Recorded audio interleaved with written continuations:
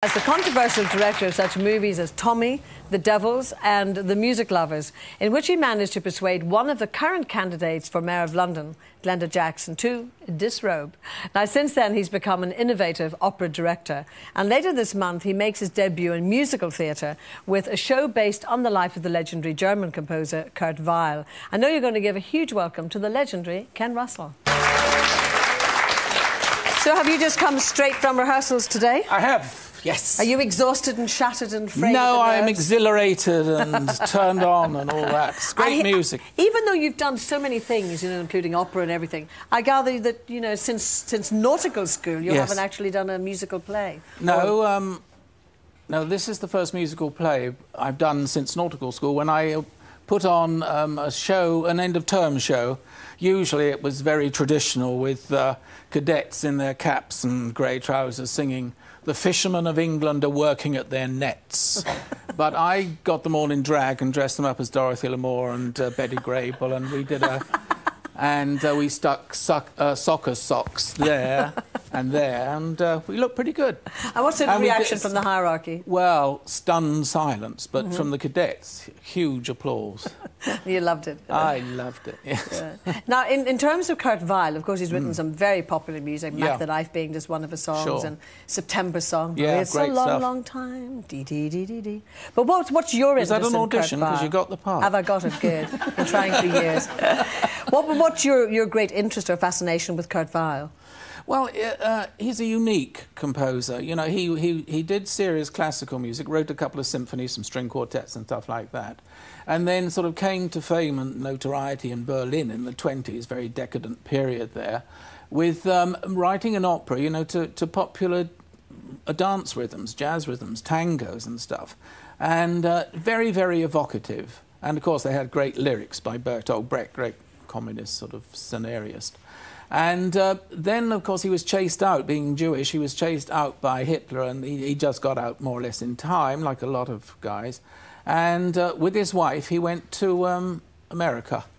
And uh, although it was a totally different idiom, he gradually got into the, the into the way of Broadway and became as, as great a Broadway composer as, say, Gershwin or Irving Berlin. And of course, in this new musical, you're dealing with Lotte Lenya, this yeah. great love affair. Yeah. So, was it a volatile relationship? Yes, it was. Um, she she was a sort of child prostitute from Vienna, and he he, he was from a Jewish um, cantor's family. Uh, so it's a strange sort of mixture, but uh, they seem to strike sparks off each other. And of course, she had this great, gravelly, smoky, sexy voice, which he just fell totally in love with. And, and a lot of the songs he wrote, especially for her, you know. And um, I was fortunate enough in the 60s to, to meet her at the end of her career. And we, we put, um, we, I staged four numbers on television, and she, I could see why he was entranced with her and why she had this vast uh, audience that followed her. So obviously that gives you a very good background for this musical, yeah. having met her and known yes, her. Yes, yeah. What, what, what really sparked off your own great interest in music? Because you seemed right throughout your career to have been fascinated and obsessed yeah, almost by music. Well, I, I, came into it in a rather strange way, but um, it, it was it worked. I was in the Merchant Navy in the war, and, and uh, I had a bit of a breakdown. So I, I came, came, I was invalided out, and I sat in uh, my parents' uh, home in, the, uh, you know, in an armchair, rather like that. And I did nothing. I just did nothing for, for it seemed weeks, months, years. And my mother would hoover around me every morning, you know, and the radio would be on, so there'd be this cacophony of sound, and I, I still didn't uh, move. Then one day I began to hear something from the radio, some something that sort of even transcended the old Hoover and my mother nagging me to get up and get a job. And uh, it, it, it, was like magic, it was like heaven. And uh, I heard the announcer, because it was from the radio, uh, say what the piece was. And I got out, out of my chair. My mother nearly fell over with surprise.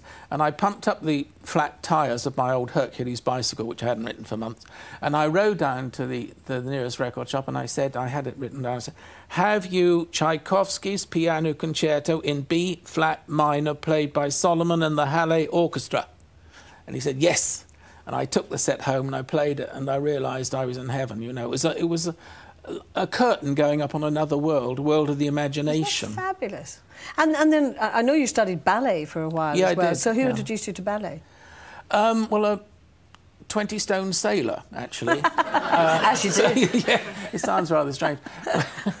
I met him in the Air Force. It's a rather long story, but, uh, you know, he's. I tried to get into movies, into films, but that was very hard after the war. Unless you knew someone personally, you knew the chief photographer's aunt's cousin, you know, you, you, didn't, you couldn't even be a T boy. So um, I, I got into ballet, and after six years of intensive training, from this Maestro Sergeyev of the Imperial Ballet Mariinsky St. Petersburg. I ended up in the back row of the chorus of Annie Get Your Gun. Hey. I never but, looked but, back. But what did you envisage? did you think that you were actually going to be a, a, a classical dancer yeah, that yeah, you would make yeah? I started too late. I was 21, and uh, that's, you know, 20 years too late nearly. Yeah, but still... But, uh, but, I, but it was very useful because then I became a photographer, I did a bit of acting, and all these things were sort of grist to the mill. So when I finally did make an amateur movie of my own, I had all these sort of crafts that I could incorporate into my oh, films. Yes, you, understood it all, you understood it all from the background. Yeah. Now, because there is so much in your life, I mean, I would need a week of programmes to sort of talk about all of them. But I thought as an exercise, we'd just bounce a few films or whatever yeah. and just see what memories they spark off, starting with Tommy. But on the whole film, um, I was told uh, you, you'll have a problem working with rock and rollers. They're on drugs, they do this, they do that. And they were as good as gold. And were you pleased when eventually that also was made into a musical? Were you interested in the fact that Well, I was a bit disappointed because they nicked a lot of my ideas and mm. I didn't get the credit for it. Uh-huh, so that's a good. There you go. Now, Women in Love, and it is 1969 in this case.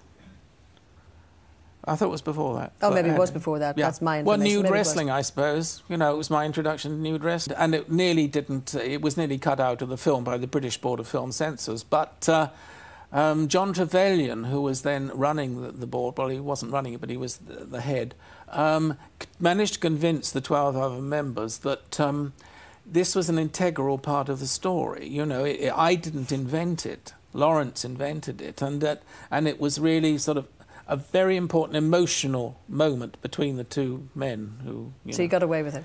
Yeah, well, it um, yeah, we lived happily ever after. and you loved working with Oliver Reed in particular. Yes, I was very sad when he drank himself to death. Mm. So, so what was so special about him in terms of when you were working with him on a day-to-day basis? You, he knew, uh, rather like Glenda Jackson. I mean, I find the less you need to explain to actors and talk to actors, the more you rely on some almost telepathic thing, and creating the right atmosphere for them to, to perform that's that's the job of the director as far as I'm concerned. And of course, Glenda Jackson is another lady you worked a lot with, and uh, the music lovers in particular we're thinking about because that that was very successful, yes, very yeah. innovative. You know, when she had to be naked and uh, rolling about in a, a, a, train carriage at midnight in a snowstorm. But um, is that I, the one where the glass actually broke? Yeah, I did. yeah, yes. It's, uh, there was some glasses, and it did break, and she was rolling around. She she she escaped.